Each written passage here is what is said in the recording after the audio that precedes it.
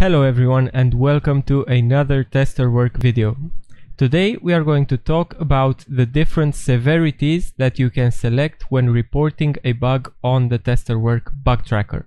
First things first, let's understand what exactly a severity is. The severity of the bug report is the impact of that particular issue that you found on the software under testing.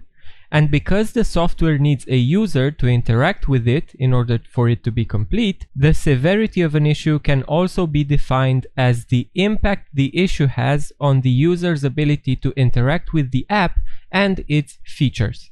When trying to understand the severity of the issue that you've encountered, you must ask yourself how much of an impact does this issue have on the application and on my ability to interact with it. Let's start with the highest impact an issue can have on a piece of software, that is the critical issue. A defect that completely blocks testing of the product or a feature is a critical defect. So if you are trying to reach the messaging section of a social media app, but you are prevented from doing so by an error that is not caused by your device's settings or any external party, you've got yourself a critical issue. Another example of a critical defect is a situation where a feature that needs testing is completely missing from the app. For any reason, if the application crashes or it becomes unusable under normal user flows, that is considered a critical severity issue. Please note that if the user needs to perform very specific actions in order to be able to reproduce the issue, it will not be classified as critical. The critical issues are the ones which are easily reproducible by performing normal user behavior in the app that you are testing. Next up, the high severity issues. Any feature implemented that is not meeting its requirements and behaves differently than expected can be classified under high severity. High defects are the issues where an important feature of the app isn't performing as expected. So it's important to have the test specification document with you while testing so that you are aware of what the expected behaviors are for different features. It's, of course, it's easier for test case executions where you already have the expected results right next to the steps to reproduce in the uh, test case flows. So in high defects, for example, when testing an email service provider app, such as Gmail, and you are using the undo function right after sending an email, but the email is received by your recipient anyways, then you've got yourself a high severity issue because your recipient should not have received that email since you've just used the undo function. Let's move on to medium. So the difference between a high and a medium issue only consists in the impact on the user's ability to interact with the app and its features. So naturally a high severity issue has more of an impact on your ability to interact with the app than a medium severity issue does. The medium issue can be defined as an implemented feature that is not meeting its requirements and behaves differently than expected, but the impact of the issue is negligible to some extent. This type of defect results in minimal loss of functionality. Also, adding to the medium severity are some high issues that require very specific steps to reproduce and high issues that affect less important features. So it's important to note that when choosing between a high and a medium severity, you need to think of the impact.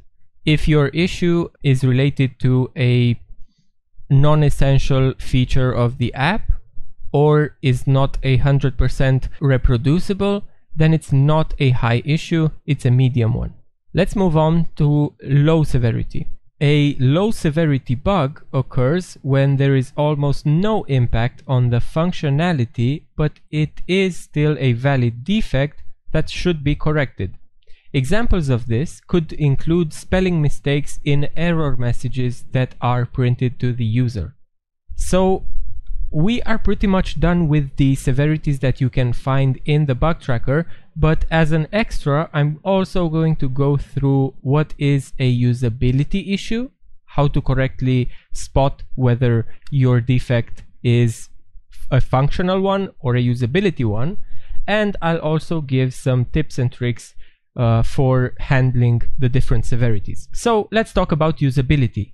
A usability issue is a defect in the experience the user has while interacting with the app without affecting the user's ability to use the features of the app. So what's important to note is in contrast with the functional side of things that we talked about so far, usability refers to the user's experience and whether it is inconvenient for the user to perform certain actions or to see the app in a certain way.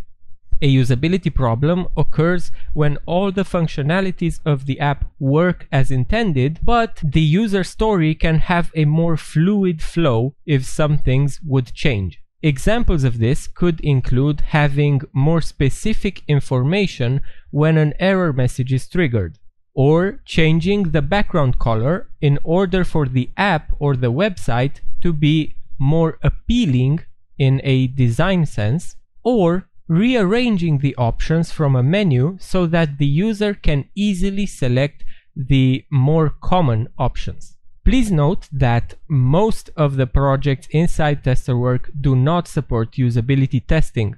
So while I am speaking about usability issues, it's important that you focus on functionality and the severities that we've talked about so far unless instructed otherwise. So as a tip that I can give you is when you are about to report an issue in the Testerwork tracker, always ask yourself how much of an impact does this issue have on the application and on my ability to interact with the application or its features. This way, you are going to correctly identify what severity you should mark your bug as. Severities are also influenced by the level of probability one bug can be reproduced in a live environment by a normal user. So as an example here, consider that there is a situation where the user finds a mistake in the naming of the product itself or some problem with the UI documentation. A tester would normally open a minor or cosmetic defect and it may be very easy to fix that issue for the developer but when it comes to the product look and feel or the user experience, the impact of that issue, which was of course a simple one for the tester or a minor one, the impact can be very serious for the development team because obviously they want the product to be named correctly so that the user experience is as they intend it to be. Um, so in this case, a low or medium severity issue can go up to a high severity due to the importance of that spelling mistake in the name of the app. Now, of course, this is uh, sort of an extra for you to know, but as far as you are concerned while testing, you should still uh, classify issues that are cosmetic as low or medium, depending on where the issue is and how much of an impact it has on your experience in the app.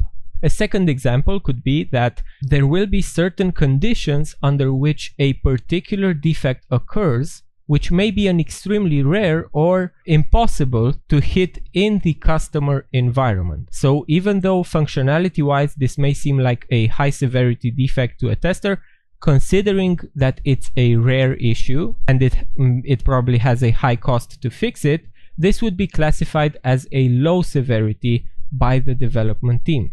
So in this case, a critical bug, such as the app uh, will crash when you try to log in, will be set as high or even medium if the reproduction steps are exotic, let's say. So you have a lot of repetitive actions that you need to take or just moving further than the normal user uh, flows. Um, or maybe the reproducibility of the bug itself is very low So in this case, a critical bug can go to high or medium. So yeah, that's that's been it for the severities that you will find in the TesterWork uh, bug tracker. We also have a dedicated um, TesterWork Learning Center page that pretty much explains what I've talked about in this video and I encourage you to, to visit that page and read it before submitting a bug report. And also please give us feedback and ask any questions you have around bug reports and severities. And we are looking forward to seeing you in the next video. Goodbye.